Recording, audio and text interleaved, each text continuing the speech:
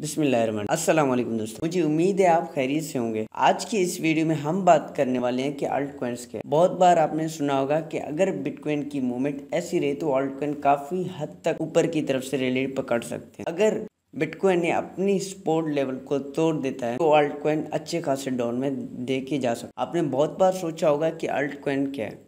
और कौन से कॉइन अल्ट कॉइन कहलाते हैं। तो आज की वीडियो में हम इसके बारे में डिस्कस कर लेंगे। वीडियो को एंड तक लाजमी देख लें। तो आइए आज का वीडियो स्टार्ट कर। वीडियो स्टार्ट करने से पहले आपसे एक छोटी सी रिक्वेस्ट रहेगी। अगर आपने अभी तक हमारे चैनल को सब्सक्राइब नहीं किया तो नीचे दिए गए रेड बटन के ऊपर क्लिक करके चैनल को सब्सक्राइब करें और साथ ही घंटे के ऊपर क्लिक करके ऑल के ऊपर क्लिक कर दें, ताकि इस कोर्स के नए आने वाले वीडियोज़ का नोटिफिकेशन आपको बर वक्त मिलता रहे।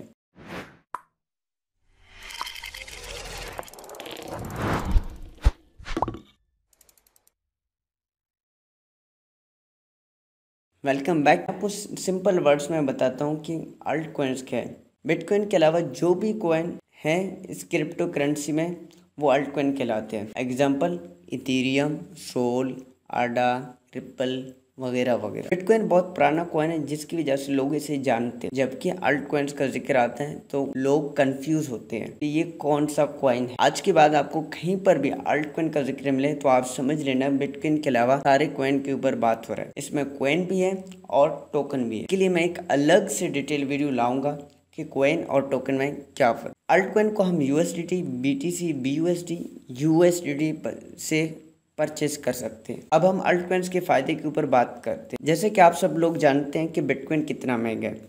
कम इन्वेस्ट करने में कुछ पास रिटर्न ही नहीं मिलता। अल्ट कोइंस बहुत सस्ते होते हैं। कम से कम इन्वेस्टमेंट करके मैक्सिमम प्रॉफिट हासिल करते हैं। इस वजह से लोग अल्ट कोइन पर ज़्यादा इन्वेस्टमेंट करते हैं। अगर इनकी वैल्यू थोड़ी ऊपर जाती है तो एक अच्छा सा प्रॉफिट दे जाता है। अल्ट कोइंस कुछ सेंट्स के हिसाब से और कुछ एक से हंड्रेड डॉलर और से ज़्यादा के करीब मिल जाते हैं। तो इस वजह से लोग इनमें कम इन्वेस्टमेंट से ज़्यादा कॉइन हासिल कर लेते हैं। आपने ज़्यादातर देखा होगा कि बिटकॉइन में थोड़ी वॉल्टेलिटी होता है, लेकिन अल्ट कोइंस इससे कई गुना वॉलेटाइल होते हैं। अब हम बात करते हैं कि क्रिप्टो करेंसी की प्राइसेस कैसे सेट होते हैं। इनकी मार्केट कैप और इनके मार्केट कैप और सर्कुलेटिंग सप्लाई को देखते हुए इनकी प्राइस बनती है। इनशाला इसके लिए भी मैं एक डिटेल से वीडियो लेके आऊँगा। ये अल्ट कोइन वाले अपना कम्युनिटी बना लेते हैं।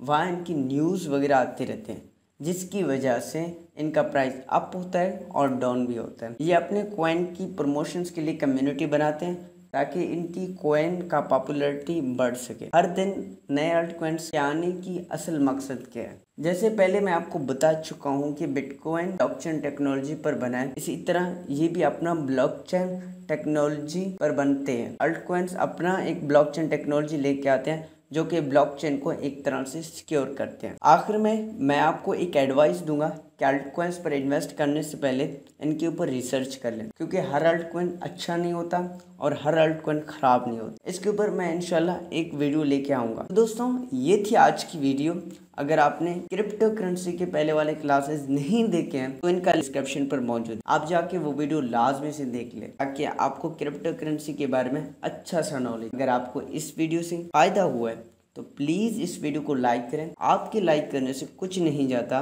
हमें अंदर से एक मोटिवेशन मिलती है। अगर आपने हमारे चैनल को सब्सक्राइब नहीं किया है तो नीचे दिए गए रेड बटन के ऊपर क्लिक करके हमारे चैनल को सब्सक्राइब करें और साथ ही घंटी के ऊपर क्लिक करके ऑल के ऊपर क्लिक करें, ताकि मैं जब भी इस कोर्स के नए वीडियो अपलोड करूँ, उनका नोटिफिकेशन आपको मिलता रहे।